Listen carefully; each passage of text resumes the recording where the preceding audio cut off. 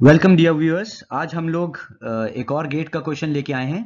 और आज हम लोग सॉल्व करेंगे गेट 2016 का। ये एंजाइम इंजीनियरिंग का question which is based upon immobilization of enzymes ये क्वेश्चन कह रहा है an enzyme is immobilized on the surface of a non porous spherical particle of of two millimetre diameter ये कह रहा है कि इंजाइम हमारी इमोबिलाइज है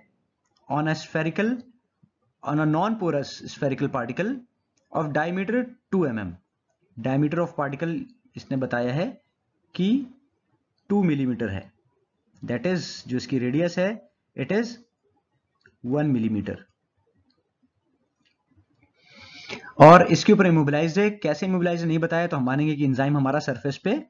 इमोबिलाइज है throughout the surface homogeneously तो ये हमारा इमोबिलाइज एंजाइम पार्टिकल बन गया। अब इस इमोबिलाइज एंजाइम पार्टिकल का भी डायमीटर हम लोग same as the diameter of spherical particle ही लेंगे क्योंकि एंजाइम का डायमीटर खुद का बहुत नेग्लिजिबल uh, होता है in comparison to this size two millimetre it's enzyme का साइज़ अप्रोक्सीमेटली नैनोमीटर्स में होता है two nanometre three nanometre four nanometre five nanometre तो इससे ज़्यादा एंजाइम के साइज़ नहीं होते। बहुत बल्कि मतलब नॉर्मल एंजाइम्स के। तो जनरली तो हम लोग स्फेरिकल पार्टिकल जो है हमारा स्फेरिकल पार्टिकल इसका डायमीटर ही हम, अपना इंजाइम पार्टिकल के भी डायमीटर से मानेंगे। मानेंगे कि हमारा स्फेरिकल पार्टिकल का डायमीटर इंजाइम पार्टिकल का डायमीटर है। ओके आगे क्वेश्चन कह रहा है the immobilize enzyme is suspended in a solution having bulk substrate concentration of 10 millimolar अब हमने अपना इंजाइम पार्टिकल सस्पेंड किया एक सॉल्यूशन में। अब सॉल्यूशन में जब सस्पेंड करते हैं हम अपना पार्टिकल डालते हैं सॉल्यूशन के अंदर तो हम जानते हैं बाई टू फ़िल्म थ्योरी इसके अराउंड ये स्फेरिकल हर जितने भी स्फेरिकल पार्टिकल्स होंगे मीडियम में, उसके अराउंड हमारी एक स्टैगनेंट लेयर एक थिन फ़िल्म बन जाएगी। क्योंकि ये सॉलिड सरफेस है तो सॉलिड लिक्विड बाउंड्री के बीच में एक थिन फ़िल्म बन जाएगी, जिसके अंदर पार्टिकल की तरफ़ हमारा जो कंटेंट है सॉल्यूशन का वो इमोबिलाइज हो जाएगा, वो मूव नहीं करेगा। तो इन्होंने कहा कि ऐसा हमने ऐसे सॉल्यूशन में डिप किया है, जिसमें बल्क सबस्ट्रेट कंसेंट्रेशन हमारी क्या बता रहे हैं कि है 10 millimolar 10 millimolar okay ठीक है। अब ये पार्टिकल एंजाइम तक, ये सबस्ट्रेट एंजाइम तक एंजाइम पार्टिकल तक पहुंचेगा तो यहाँ से इसको बल्क सबस्ट्रेट से डिफ्यूज होके पहुँचना पड़ेगा।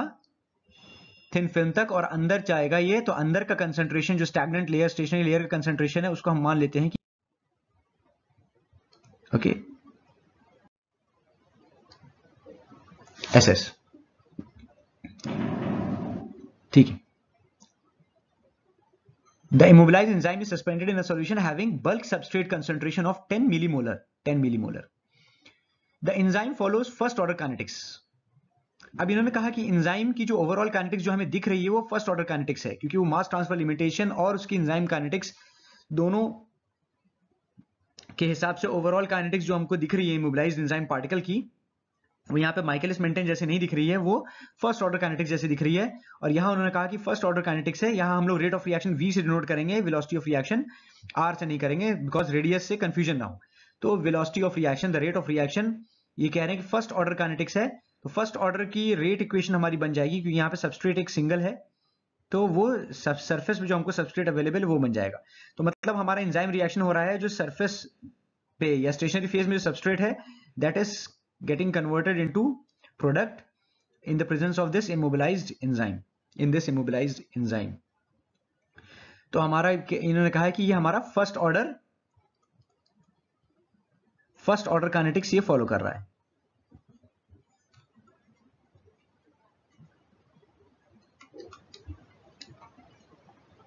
ओके सो इसकी फ़र्स्ट ऑर्डर काइनेटिक्स के हिसाब से v v equal to K one जो कि फ़र्स्ट ऑर्डर रेट कांस्टेंट है, और into substrate concentration S S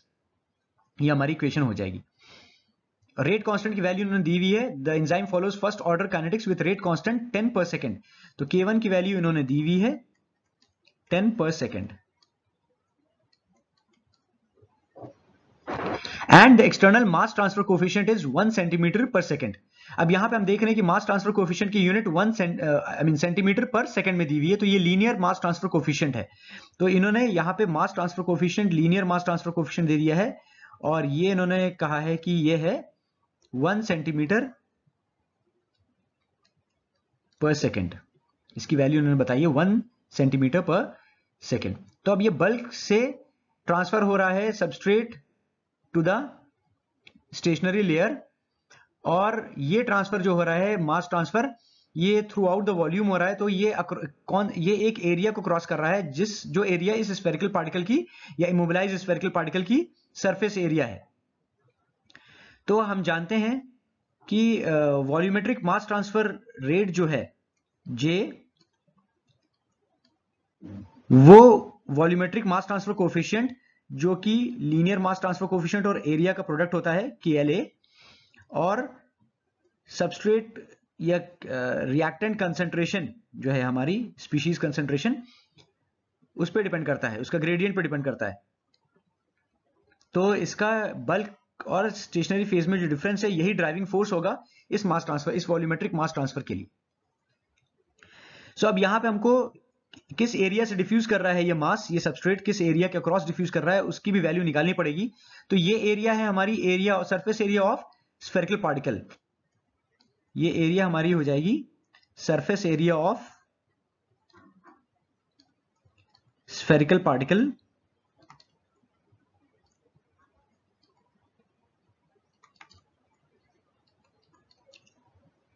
जो कि स्फीयर के लिए होती है four pi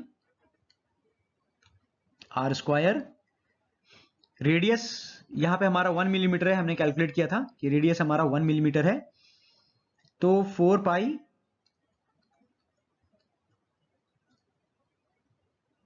वन मिलीमीटर यहाँ लिखेंगे तो वन का स्क्वायर वन ही होता है तो फोर पाई मिलीमीटर स्क्वायर हमारी सरफेस एरिया हो जाएगी across which this diffusion is occurring ये जो मास ट्रांसफ़र है, इसको इस सरफेस एरिया का क्रॉस होना पड़ेगा। Okay okay. अब यहाँ हमारा मिलीमीटर का टर्म है, और यहाँ पे हमको जो केएल की यूनिट दी थी, ये हमारी सेंटीमीटर में थी। तो हम केएल की यूनिट को कन्वर्ट कर देंगे इंटू मिलीमीटर सो हमारा केएल की वैल्यू हमारी हो जाएगी ten one centimetre equal to ten millimetre ten millimetre per second okay bulk substrate concentration हमारा टेन मिलीमोलर हमको दिया हुआ है। सबस्ट्रेट कंसेंट्रेशन एट सरफेस हमको निकालना है। चलिए आगे बढ़ते हैं। आगे क्वेश्चन क्या कह रहा है? ये हमको अननोन है। एस एस हमको निकालना है हमको नहीं पता यही पूछा भी क्या है फिल द ब्लैंक्स। में अभी लास्ट में देखेंगे। सो so, आगे क्वेश्चन कह रहा है एज्यूम स्टडी स्टेट कंडीशन यहाँ इन्होंने हमें कंडीशन दे दी कि यहाँ पे स्टडी स्टेट है वेयर इन जहाँ जिसमें की इस ऐसी स्टडी स्टेट है जिसमें की rate of enzyme reaction at the surface is equal to mass transfer rate जो जो सर्फेस पे रेट ऑफ़ रिएक्शन हो रहा है throughout the volume of the spherical particle मतलब ये स्फेरिकल पार्टिकल जो इंजाइम काइनेटिक्स शो कर रहा है it is equal to the mass transfer rate because since question दिया हुआ है steady state condition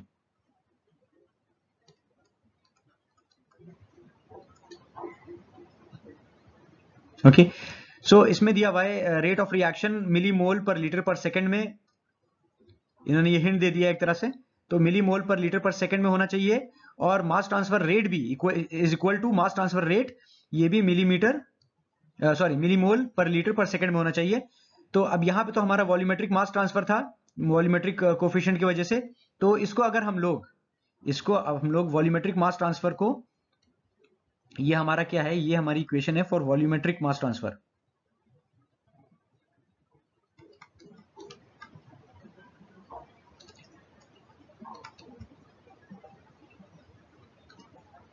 okay तो इसको अगर हम लोग वॉल्यूम से डिवाइड कर दें volume of the spherical particle okay इसको थोड़ा सा यहाँ क्लियरली लिख लेते हैं ऊपर। अगर एट स्टडी स्टेट इसने कहा v equal to mass transfer rate तो मास ट्रांसफ़र को अगर हम लोग वॉल्यूम ऑफ़ स्फेरिकल पार्टिकल से डिवाइड कर दें तो ये कंपेरेबल हो जाएगा with the rate of reaction v ठीक है। आगे कह रहा है the substrate concentration at the surface of the immobilize particle will be dash millimolar तो मिली मोलर में हमको निकालना है सबस्ट्रेट कंसेंट्रेशन अब यहाँ पे अगर हम लोग वैल्यूज़ सब्स्यूट करते हैं तो ये हमें इक्वेशन मिलेगी। वी के वन एस है हमारी इक्वेशन के वन एस एस और mass transfer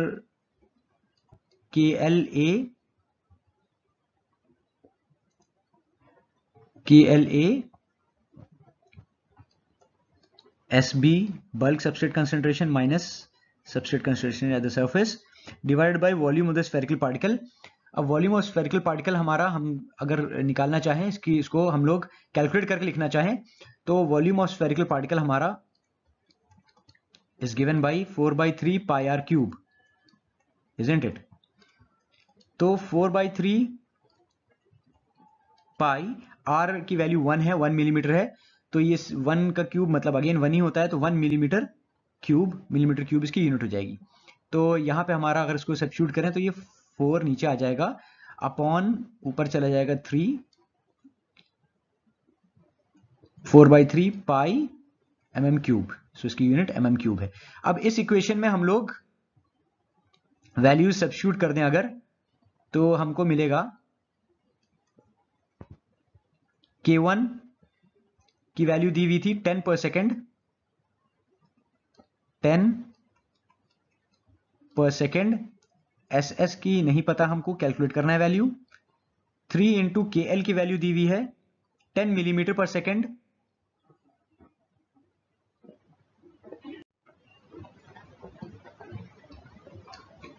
ten millimetre per second okay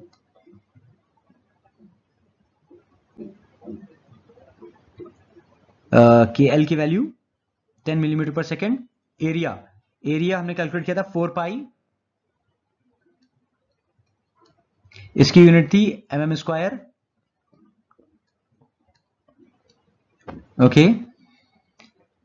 bulk substrate concentration minus surface bulk substrate concentration 10 millimolar दी हुई थी माइनस एस एस दोनों की सेम यूनिट से हम लोग यहाँ इसकी यूनिट्स नहीं लिखेंगे। मिलीमोलर है क्योंकि हमने यहाँ भी सबस्टेट कंसेंट्रेशन की यूनिट नहीं लिखी है। तो इट डजेंट मैटर दोनों तो मिली मोलर में ही है, हमको पता है। Divided by four pi volume की यूनिट थी मिलीमीटर क्यूब ओके तो यहाँ पे हमारा टेन कैंसिल हुआ। S minus one substrate concent sorry per second और यहाँ पे भी पर सेकेंड यूनिट कैंसिल हो गई। okay 4 cancel pi cancel okay millimeter square and this millimeter cube ये यहाँ millimeter ही बचेगा and again this single millimeter cancels this one so almost everything is gone what we are left with uh, I think nothing else is cancelling out so we are left with SS equals to 3 ten minus S S अभी simple algebraic equation हो गई। इसको हम solve कर सकते हैं। ये bracket three bracket के अंदर जाकर मल्टीप्लाई हो जाएगा and this will become S S equals to thirty minus three S S and this minus and this minus 3ss uh, will come to left hand side and this will become 3ss plus ss equals to 30 4 ss ये algebraically add हो जाएगा. Four three plus one four S S equals to thirty and S S is thirty by four so जहाँ पर answer निकालना था, वहीं है पहुँच गए, हम आंसर निकालते निकालते फोर सेवन पॉइंट हमारा बन गया. Four twenty and then calculator से कर लीजिए। सेवन पॉइंट फाइव सो हमारा आंसर आ जाएगा seven point five millimolar and this is our answer thanks for watching this video अगर पसंद आया तो do like and subscribe my channel thank you